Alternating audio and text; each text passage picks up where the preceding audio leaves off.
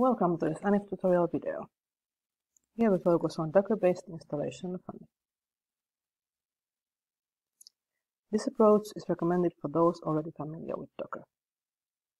Tutorial page has step-by-step -step instructions. You can also read more from the Annif wiki. There are a few things to consider with this approach. First, Docker needs enough memory. You can allocate more from the Advanced tab in the settings. You also need to be able to share a folder with Docker for the most seamless experience.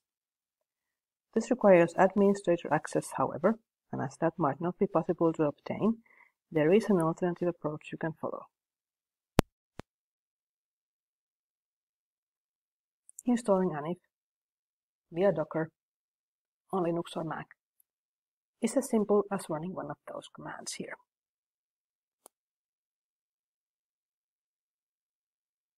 On Windows, the command looks like this.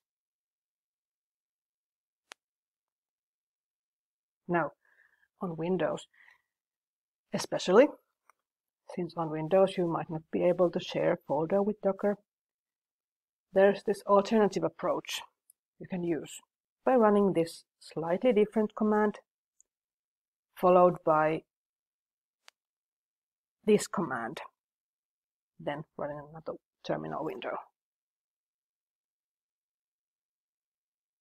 This is what installing Annif via Docker looks like on Windows PowerShell. You can see we run this command here, and it's the modified one because we are on Windows and we are using the alternative approach.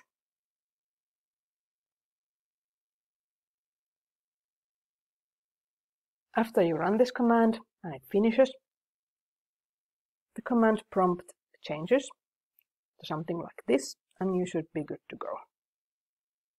Not that I said something like this, not perhaps exactly like this, but something like this.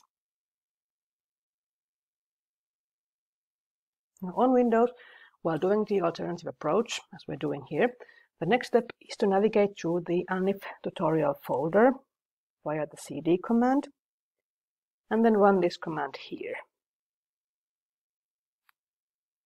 As we're using the named volumes. You can then go back to the original command prompt and check using the ls command that you can see the datasets folder correctly where it should be. And after this, you should be good to go. You have installed Annif via Docker, and you can start doing the exercises. Thank you for watching.